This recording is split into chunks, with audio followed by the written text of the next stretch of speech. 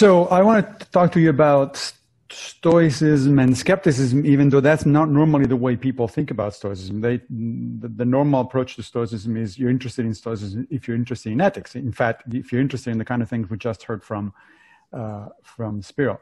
But in this case, actually, it turns out that there is a long tradition, not just among the Stoics, but in general in, in ancient Greek and Roman uh, philosophy, about what we call skepticism, uh, skepticism about you know knowledge claims and things like that. So that's what we're going to talk about in the next few minutes. Okay. Um, let me actually start my counter so that I know. There's somebody who's talking in the background. If you could uh, please mute yourself. Thank you. Okay. I'll get to Marcus Aurelius in a minute. But first, let me give you a little bit of background. First of all, what do the Stoics have to do with skepticism? Well, it turns out that skepticism with a capital S was actually an ancient philosophy, right? And they came in a num- number of different uh, um, uh, varieties flavor, or flavors. The two big ones are Pyrrhonism and academic skepticism. Pyrrhonism held that no, that human beings should have no opinion whatsoever because because human knowledge is impossible.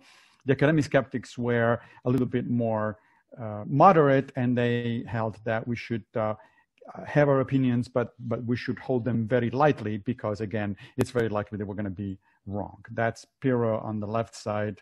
Uh, he was a radical skeptic, if you will, and then Carneades of the academic school after Plato was a moderate skeptic, somebody that we actually, as modern skeptics, we we would uh, we would relate to. In fact, I, I suggest that people look into Carneades because he had to say a lot of the kinds of things that we modern skeptics still use, a lot of the kinds of uh, uh, of uh, general ideas that were still at the basis of the modern skeptic movement. Speaking of which, the modern skeptic movement has it, its roots in two people, David Hume and uh, Pierre-Simon de Laplace, both of, of, them living in, you know, somewhere around the 18th century. Um, in the Inquiry Concerning Human Understanding, Hume wrote, A wise man proportions his belief to the evidence.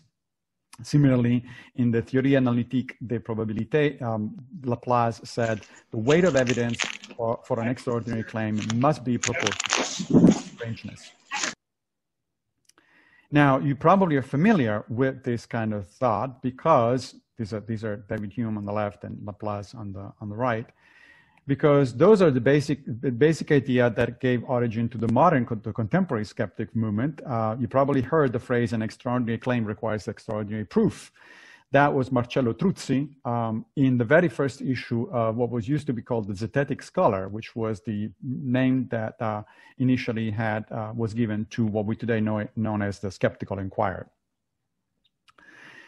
The second quote is probably more famous. It's Carl Sagan from Broca's Brain, uh, extraordinary claims require extraordinary evidence. But basically, uh, Sagan is simply popularized the uh, Truzzi's uh, take on things, and Truzzi himself was actually, in fact, based on David Hume. The general idea is not just that extraordinary claims require extraordinary evidence, but the more basic idea that David Hume put forth. That is, that there has to be a proportionality between your beliefs and your evidence. Beliefs, in other words, come in a range of thing, uh, of, of you know degrees. Uh, we, it's not just yes or no. I have a you know somewhat of a belief about certain things, a moderate belief about certain things. I'm not so sure, and then I have a higher degree of belief about other things. And the notion that that Hume put forth is that the degree to which you believe something rationally from a rational perspective uh, ought to be proportional to the evidence. An extreme version of that belief is the Truzzi-Sagan uh, notion that, of course, if you're talking about extraordinary beliefs, such as you know paranormal beliefs, astrology, and things like that, then the evidence ought to be com- commensurately extraordinary. Now, skepticism really did start with the with the with the ancients, but even in fact before Pyrrho, uh, the the first skeptic that I can that I could find uh, on record in the Western tradition at least was Socrates. In one of the Platonic dialogues, the Charmides, Socrates actually asks, uh, "What is the difference between a quack and a, and a doctor?" And he, he, concludes that it's really difficult to tell the difference. He says, so the wise person won't be able to distinguish the man who pretends to be a doctor but isn't from the man who really and truly is one, or indeed to distinguish any other of those who know from any other of those who don't know, unless he's an expert himself. this is in fact the problem of expertise is, is still today with us today in modern discussions in in uh, epistemology uh, in, in, modern philosophy. Uh, it's like you know how, how do you know that you should trust this expert or, or that expert? How do you know? How do you, the, you know tell the difference between an expert and a quack? And it's something that we all still struggle with. Uh, there are there have been number of suggestions in modern philosophy. Those are not the ones that I'm going to get into today, however. But that was just to show you that the the, the question is in fact pretty, pretty ancient. And there is Socrates right there.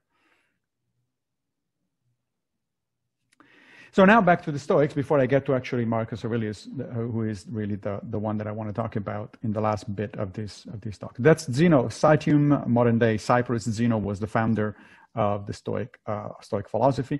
It's important to realize that the Stoics called themselves Socratics that is, they thought that they were simply following Socrates in their philosophy. And that is one of the reasons they were actually interested in epistemology. Uh, that is the study of, of knowledge claims. And a study of epistemology, of course, is something that we all should be interested in as, as skeptics because theories of knowledge and understanding of what counts as knowledge, what doesn't count as knowledge, are fundamental uh, for, a, for a modern skeptic.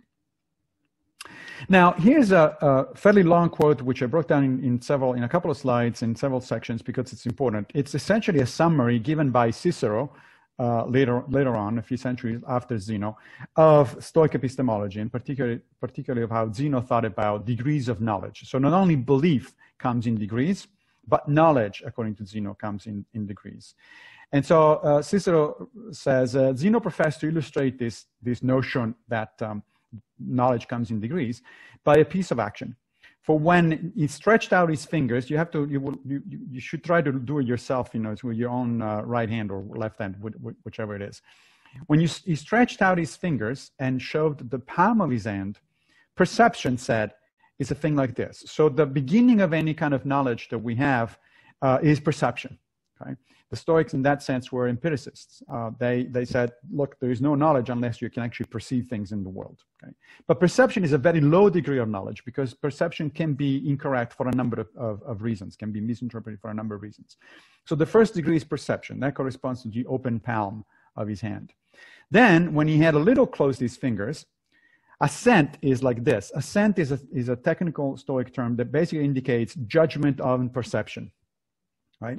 So for instance, I walk across the, the Central Park and on the other side I see, I see Spiro and, uh, and I start getting closer because ah, it'd be nice to, to say hi to my friend. And then I get closer and it turns out he's not Spiro. It's just somebody who looks like Spiro from a distance, right? So the initial perception turned out to be incorrect. And so I deny assent to the initial perception after uh, additional information, uh, additional uh, you know, thinking and, and, and evaluating the situation, turns out that was not spurious. So, so assent is a little higher degree of knowledge because you actually have to have an, arrive at an explicit judgment about whether your perception is correct or not. Afterwards, when he had completely closed his hand and held forth his fist, that, he said, was comprehension for which similarly he also gave that state a name which it had not been uh, not before and called it catalepsis. A cataleptic impression is a particularly strong kind of impression. And uh, for instance me, let me give you and we all have them. Let me give you an, an, an example. So it's about what is it 3.15 in the afternoon here in new york. So the sun is still high uh, because sunset is about in an hour a little bit more than an hour and 15 minutes. So if you went outside and and you were you tried to, to convince yourself right now that it is night that it's the middle of the night. You just couldn't. You can you can reason your way through this thing as much as you want. You can think of you know brains in a maybe on a brain in a vat maybe a living in a, in a simulation uh, whatever it is. The fact is you're not going to seriously be able to convince yourself that it is night. Why not? Because you're having a cataleptic impression. You're having the, the kind of really strong impression. This essentially uh, sensorial impression that is essentially undeniable. Could you be hallucinating? Sure. Um, but save for hallucination and drug trips, you know, your cataleptic impressions are actually important. You need to keep them under, under uh, good advisement because they're very strong. They're, your judgment there is on solid grounds. And finally, when he brought his left hand against his right and with it took a firm and tight hold of his fist, knowledge, he said, was of that character, and that was what none by but a wise man possessed. Okay, so the highest degree of knowledge, what the, the Stoics actually called proper knowledge proper, is is on is is only the, the uh, they thought uh, uh, very difficult to achieve, and so only you know particularly smart, particularly wise people actually achieve that kind of, sort of semi-certainty. So if you look at all these things together, it turns out that there is a degree, uh, uh, you know, hierarchy of degrees of knowledge. The lowest level is perception.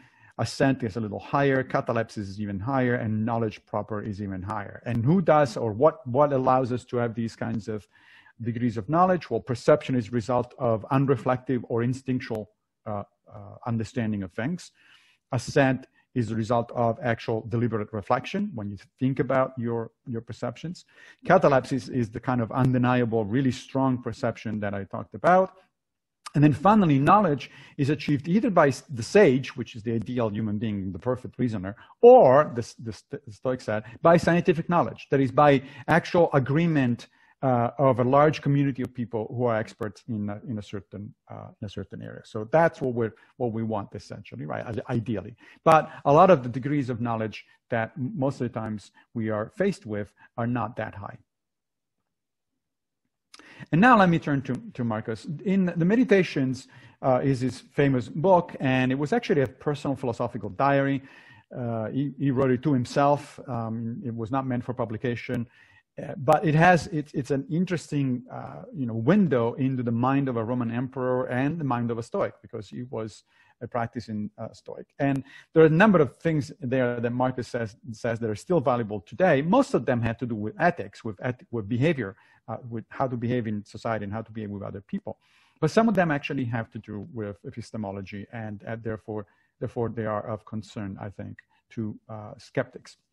So what I'm going to do now is to give you a series of, of quotes and then explain what exactly Marcus means by that. And then at the end, we'll have one more slide where I kind of summarize the, the advice, which I think it's good advice still, two, almost 2,000 years later, for modern skeptics.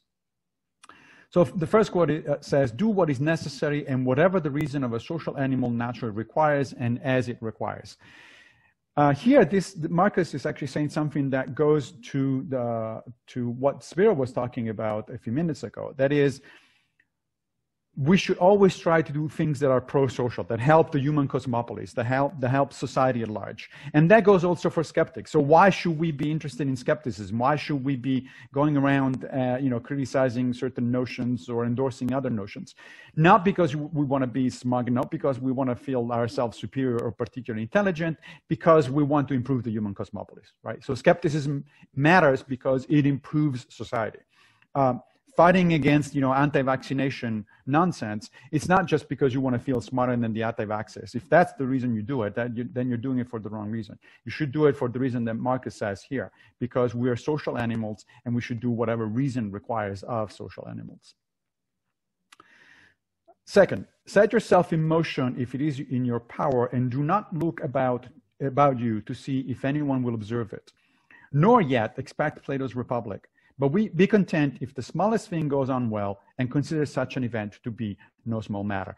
Uh, in ancient times, don't expect for Plato's Republic was the equivalent of the modern version of, you know, don't wait for utopia to appear. You don't, don't wait until everything is perfect. Don't wait until, uh, you know, you, you need to act right here, right now because it matters. And even though sometimes you get frustrated because we feel that we're not making much of an impact or we're making a tiny impact, Marcus says, be content even if the smallest thing goes well, because that's important. You're making you're making a difference, right? So this is something to remember because often skepticism is kind of a, you know, dispiriting uh, sort of approach because you, you keep being surrounded by people who who endorse all sorts of nonsense, and you kind of say, "What the hell am I doing here? Why why am I bothering with all this?" Well, you're bothering because it is your duty as a human as a social human being, and because in fact it does make a difference even at a small level.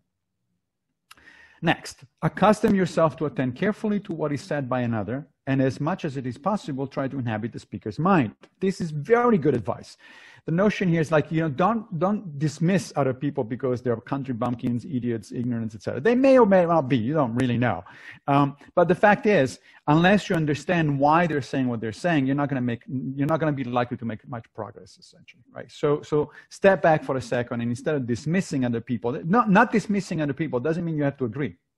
Uh, not at all actually understand what they're saying uh, so that, uh, that you use that understanding as a guide to respond appropriately or in the most efficacious way possible.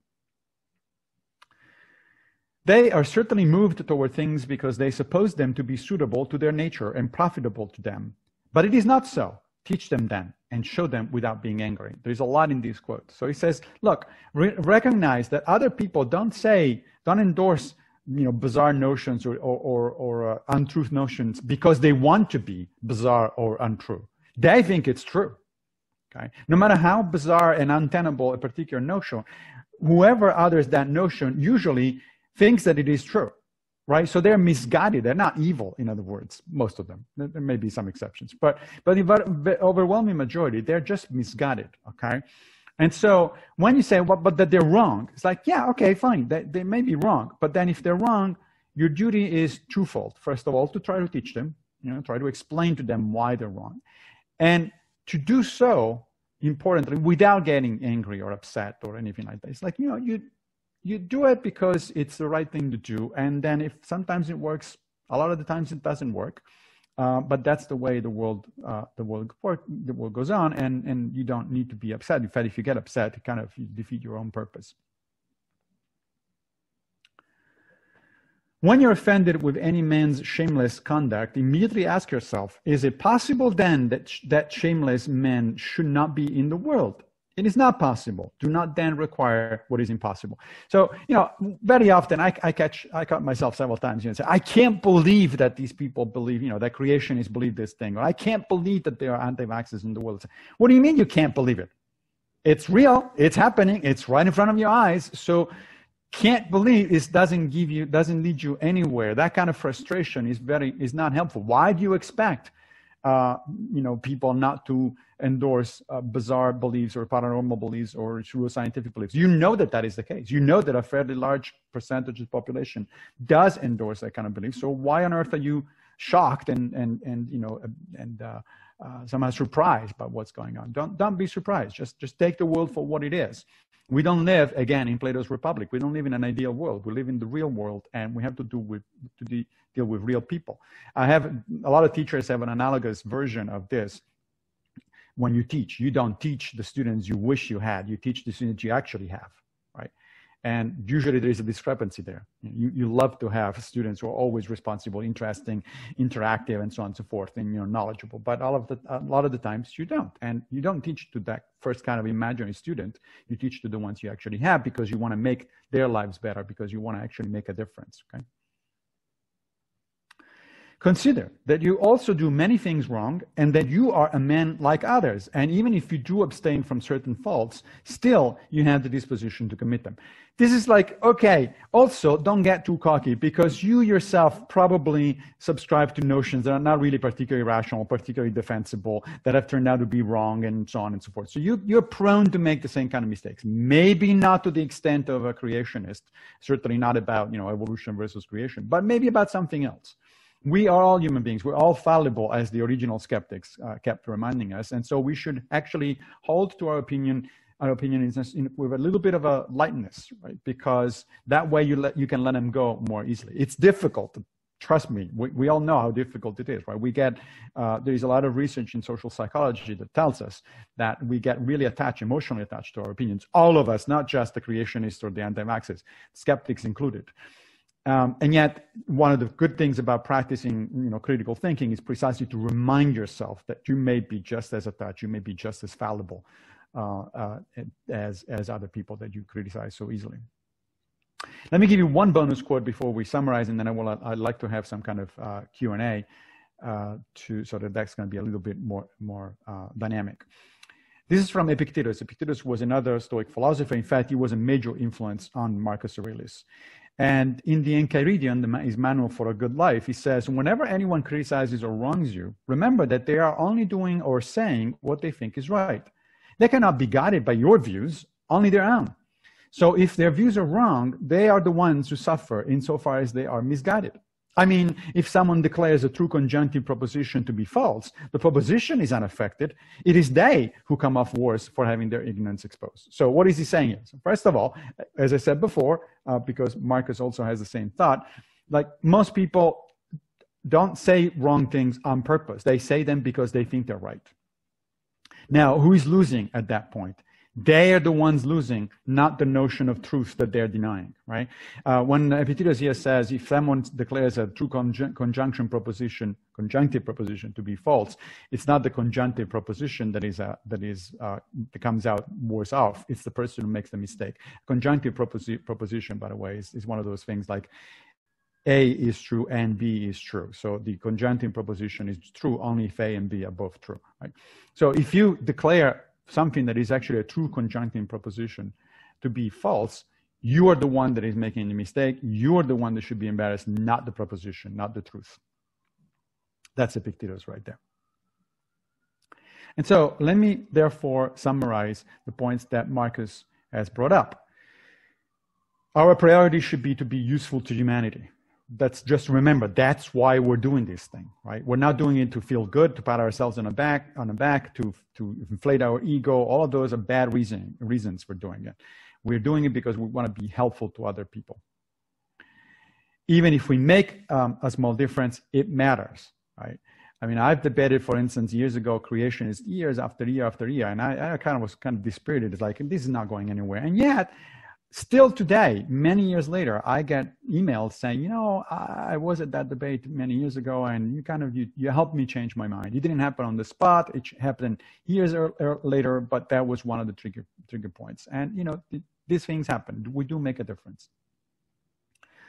We should listen to others and try to understand them. Uh, for one thing, because this is an, uh, it's a good rhetorical strategy, right? If you don't understand the, the other person's uh, argument, then you're not going to be able to counter that argument effectively. But more importantly, should, you should listen because these are fellow human beings. They're just misguided. These are not evil people. They're just misguided. Other people too think that they're right. Again, right? You're not the only one. Now, that doesn't mean that everybody's right. This is not a, this is not a call for uh, epistemic relativism. Oh, well, they think they're right, I'm thinking right, so, so it's, you know, any, anything goes. No, anything doesn't go, certainly not in the, in the realm of scientific knowledge. Um, but we should remind ourselves that other people also think that they're right. We should teach other people or endure them without losing our patience, right? So there are these are the two approaches. The first one, you explain things, and then if, if that doesn't work, you just endure the other person. It's like, okay, I did my best. And once I did my best, what else can I do? That's it. Don't act surprised at the fact that there are irrational people in the world or even smart people who say irrational things. There's all sorts of smart people who sometimes just follow, say things that are like, how did you come up with that? Uh, that is not surprising. You should not be surprised. We should not be, therefore, astonished by it. Remember also that on occasion, of course, we too behave irrationally, right? If not about this particular topic, then certainly about something else.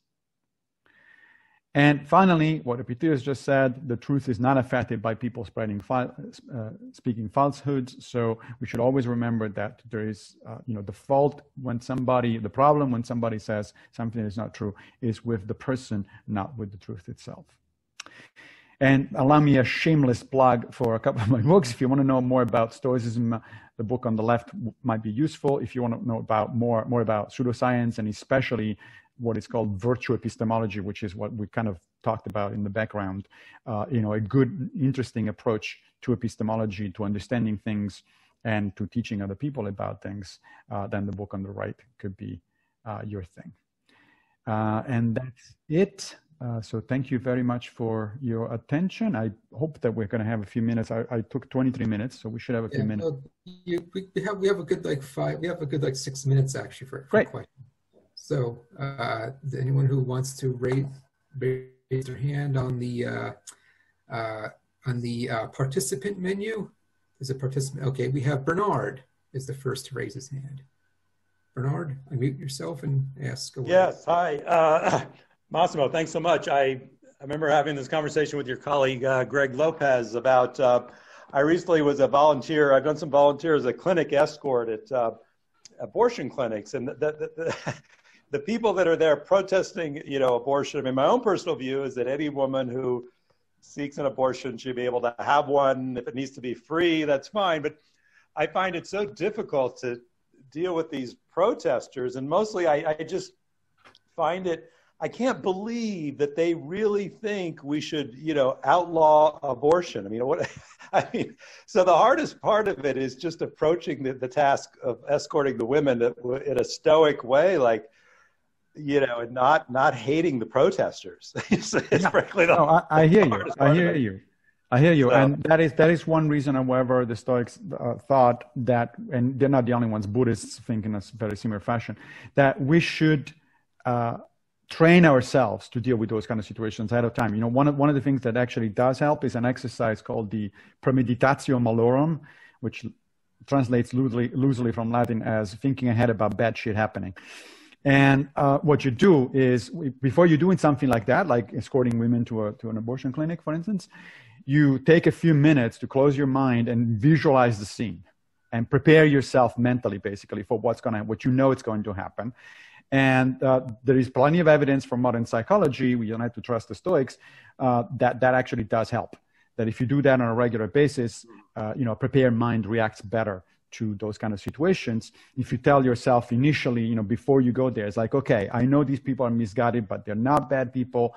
We just have a disagreement. Yes, it's a disagreement that have major consequences for people's lives and, and well-being, but they're trying their best. So I'm going to try to think about, about them as trying to do their best. But by the same token, I'm trying my best as well. And therefore I need to do what needs to be done without, without getting upset. Okay. Oh, okay. Thank you. Thank you. Yeah. Okay, and our next question comes from Jesse Phillips.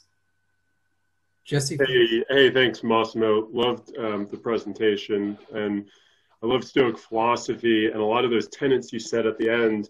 I mean, I, I think about how powerful that would be if our political discourse could include those when when trying to discuss policy and and, and where you know uh, how we want to um, politic. And what I my, my perspective is oftentimes what happens is our own um, emotions as evolutionary, you know, former uh, hunters and gatherers and tribal beings, even if we know that that Stoic philosophy, um, oftentimes prevents us from practicing it and and has us regress into this tribal uh, emotional state. And I'm interested because you're also an evolutionary biologist. Um, if you have any good practical ways to combine both the philosophy and the emotional intelligence where we can try to make progress and, and move forward? I know that's a real, very big question, but would love to hear any reactions. Yeah, it is. A, it is a big question. There are there are a number of exercises that um, you can find in the in the ancient Stoic literature, and some of them have been refined uh, and updated on the basis of modern scientific evidence. Uh, Stoicism, for instance, is one of the philosophies. It is the philosophy that uh, influenced um, uh, monitor cognitive behavioral therapy, which is one of the best evidence-based type of therapy uh, started out in the early 60s, and the, the, two of the people that, that studied it out, um, Albert Ellis and Aaron Beck, were actually influenced by Epictetus, Marcus Aurelius, and people like that. And now there is a fairly sizable, uh, uh, you know, literature about these kind of mind, mindful ex- exercises in mindfulness. Um, they do they do help. Uh, the, the thing that I find most interesting from modern cognitive science that that is uh, in agreement with, but of course improves uh, significantly on the on the early Stoic insights, is this notion that emotions are not actually separate from from from from uh, rational thinking. That is, it's not like our mind has two, our brain has two different components. One of which is emotional, the other one is is uh, rational. Um, it's actually all highly interconnected. While it is true that anatomically speaking, our emotional reactions are mostly located in the amygdala, for instance, and our uh, rational thinking is a matter for the for the uh, neocortex. The fact is that these two areas are massively interconnected. They talk to, constantly to each other. So what that, what follows from that? It follows that emotion. We should think of emotions as being made of of at least a couple of components. One is what sometimes referred to as a proto emotion, and it is completely uncontrollable. You cannot do anything about it. For instance, you hear a very loud noise in the street and all of a sudden and you jump, right? That kind of reaction, that kind of fear reaction is not controllable and it's probably a good thing because it probably will save your life. Uh, you know, it's, it's kind of, it's part of the, your fight or flight response. However, what we call the mature emotions or the, the fully formed emotions have inevitably a component part oh, I heard the noise. Not so now I'm starting thinking, oh, of course I heard the noise because this is a bad neighborhood and I'm sure there is somebody who's about to kill me. That's one interpretation. The other one is, oh, I heard a noise. Sure, it's night. There's probably a cat that that you know that, that was uh, going around the street and, and overturning things. So how you think about your your how you have con- your cognition about your initial responses is what actually leads you then to develop an, uh, one or another emotional response. And then the idea that both the Stoics and cognitive behavioral therapists have is that we should train ourselves to respond uh, in a calm cognitive fashion to certain kinds of, of, of, uh, of situations. So that, and, and you can achieve that by uh, meditating by uh, there are different kinds of meditations uh, other than the buddhist one uh, by preparing yourself mentally for these kind of situations. You know part of the problem is you say you know when when you get you know situation in the in, you're in the middle of a situation you, you, you sometimes that get, catches you unprepared. Right. But the analogy there is you know you don't start training in boxing let's say the moment in which you had to get into the ring and have actually the fight, right? You start training much earlier. And so it's the training that allows you to prepare yourself for these situations. People shouldn't think about, uh, you know, just opening a book about stoicism, reading about stuff, and saying, "Okay, now I got it. I'm ready to, you know, to not get it ever upset. I'll never be upset again, or I'll never be angry again." It's no, not. It doesn't work that way, right? No more than you go into into a gym, you look around at the, at the weights, and you say, "Oh yeah, now I developed all my muscles because now I know how to use weights." And it doesn't, you know, it doesn't. It requires actual effort, constant effort, practice uh, year after year. All right. Well, that's the, that's all the time we have officially for live Q and A, but we are on break. So uh, for, for about uh, I'd say ten minutes or so. So if uh, if uh, I guess Peter Florm and Joel G, if you can just uh, if if, you, if you'd like to ask Massimo, uh, I, I guess you could now do, do so anyway. Other but. Um, uh, you know, but that's that. We'll, we'll, we will commence with our next uh, presenter in about 10 minutes. Okay, if uh, since it's sort of unofficially been been invited to ask, I mean, I think you know that's it's in most cases it's perfectly correct. I think to try to approach everything calmly, but I think there's times when rage is the only appropriate reaction and I'll avoid using Hitler. Let's say you use uh, Simon Legree to take a fictional slave master. Uh, the appropriate reaction is rage. And you could be to say, oh, well, you know, he has his own point of view when he's beating the shit out of all his slaves and raping whoever he feels like it. Sorry, but no, he doesn't. I mean, yeah, he does, but his point of view is completely illegitimate. Uh, and I think the key is how do you distinguish the people who really are evil from the people with whom you just disagree? But there really are evil people in the world. I mean, at least I have no trouble saying that some people are evil. Uh, yeah. Is it bad if you are an evil person? Well, if I am in it, you know, I don't know if there's anyone who goes out and deliberately does evil things. That is, if you look at whatever, Hitler, Idi Amin, whoever, they didn't go out and say, "Oh, what could I do that's the most evil thing I can think of?" Right. They thought right. they were doing things for the good of uh, their right. countries. Which, that's right. Which means that there are no evil people, um, and you know they're only misguided people. Now, some of these people are massively dis- misguided, and we should stop them. Uh, before they do the, what, what they're what they're doing, um, but no, I, I reject um, I guess the, the notion that there is such a thing as a proper rage. Um, and for, for two reasons. First of all, I'm not the only one, and the Stoics are not the only ones. There's this really interesting example you didn't want to bring up either, but I will. Uh, there's this interesting example of uh, a colleague of mine, uh, Owen Flanagan, who interviewed the Dalai Lama. And uh, Flanagan said, uh, you know, so so if I had a time machine and I could go back in time and kill Hitler, should I now do it? And more importantly, should I not be uh, enraged by what Hitler uh, was about to do? And that would be my motivation for killing him. And the Dalai Lama's response was, you absolutely should go back and kill Hitler. And in fact, you should go do it with some fanfare because it's an important thing that you're doing. But no, you should absolutely not get uh, upset about it, not get um, angry about it, uh, because Hitler is simply a, a bad node in the karmic cause and effect Um, and you know, it just it didn't ask to be that way. It just was that way. Uh, it wasn't his fault. It needs to be stopped, but you don't need to hate it. You don't need to go on and and and um, and, and uh, sort of be enraged about it. Seneca, the Stoic philosopher, said that the reason you don't want to be enraged by things is because rage literally takes over reason um, it's it's interferes with your reasoning abilities. And so you're like even if your rage should be motivated you're actually unlike you're likely to actually make a mistake to act improperly uh, to overreact for instance or to do the wrong thing because your reasoning faculty is not actually in control. Um, the position that rage is or a certain degree of rage is sometimes or, or, or uh, anger is sometimes uh, justified is Aristotle's position. And Seneca responds to Aristotle uh, directly. Uh, Aristotle gave the example of an army. He says, you know, you, you, you want your soldiers to be a little bit upset, a little bit angry because they're going to fight better. And uh, Seneca's response was, well, by that token, uh, you know, it's known that soldiers go more willingly in battle also if they're a little bit drunk, but that doesn't mean you want a drunken army and it's the it's the same kind of uh, uh, you know reasoning. But there is plenty of disagreement on this. So I hear your position absolutely. Uh, there is there, this is definitely not a, a there's no unified position about this. It's just that the Stoics and the Buddhists both of them reject sort of anger as a motivation. You, we should be doing the right thing because it's the right thing, not because we are angry. Uh, is there Joel that is still the name uh, the the um, hand up? I have a couple more minutes and then I need to take a. Yes, that's me. Yeah, uh, first of all, uh, thank you, Mitch, uh, for leading and for giving me this moment left over uh, of leftover time.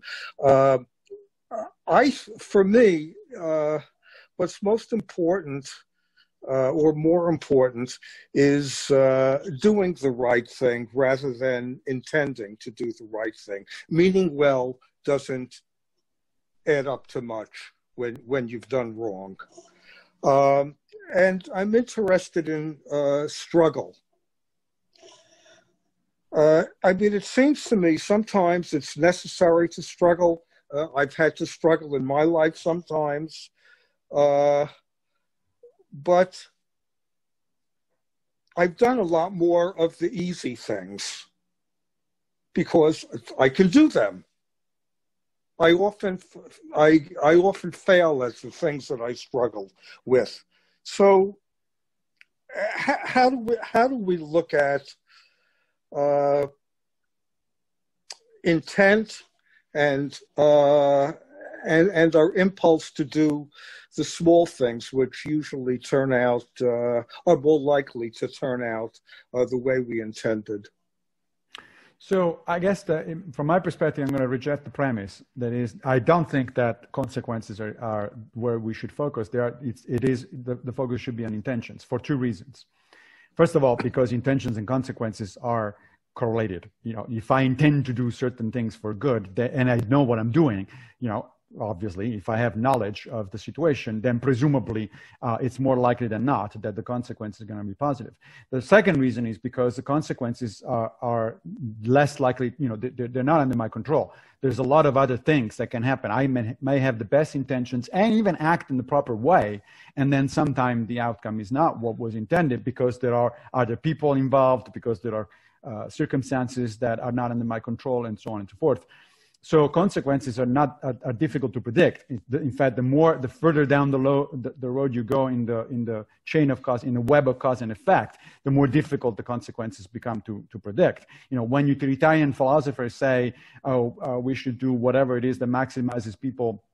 happiness and minimizes people pain well that's a nice sentiment but how the hell do you know that how long far down, down, down the road you actually expand your uh, predictions of what is going to be making people happy or or causing pain. You know how do you making those predictions? The, the, the, the degree of knowledge of understanding that we have of the of cause and effect especially in complex situations it's really just not adequate.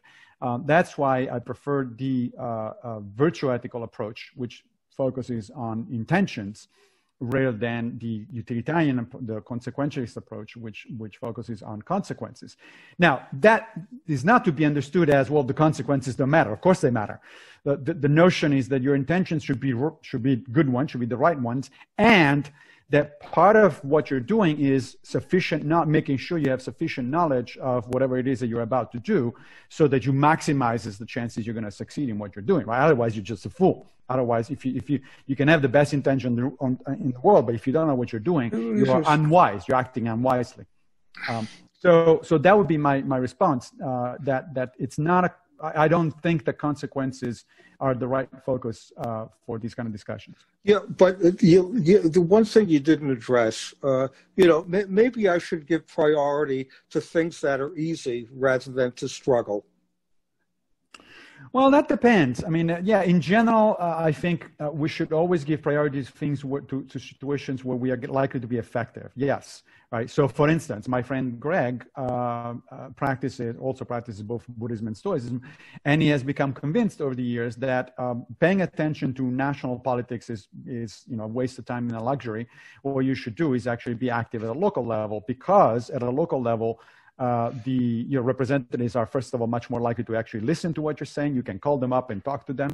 Um, your donations really do make a difference. Uh, in fact, in this case, it was a, a, able to even convince one of the local representatives to uh, fashion a, a, particular bill in a certain way. So yeah, absolutely. Uh, and those things are easier and they're certainly more likely to get to, to give you a positive outcome than the, the, big, the bigger ones. So if you want to maximize the efficacy of your actions, yes, you probably should start with the low hanging fruits, basically. Um, but the problem is that sometimes uh, we do have large scale problems that we cannot ignore. You know, cl- climate change is a problem we cannot ignore. We, we should do something about it. Now, I personally, or you personally, are not going to be able to do that much about it, but that doesn't mean we can afford to actually ignore, ignore the problem, right? So we have to find then ways in which we can have what Marcus Aurelius was saying, the little effect.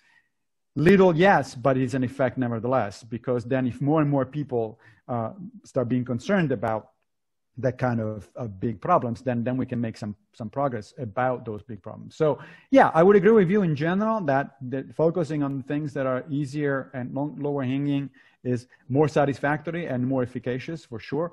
But I wouldn't think that we should concern ourselves only with those things because uh, because otherwise we're going to be missing the big picture, and and that's going to be problematic. All right. Well, yeah, we've got 30 seconds left of the break. Uh, I guess people should take.